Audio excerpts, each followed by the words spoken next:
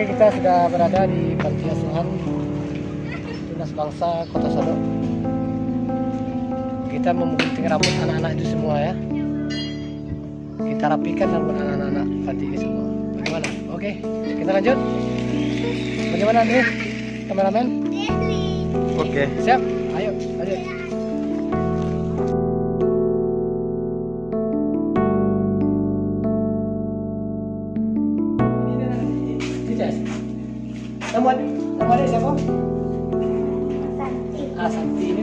Santi.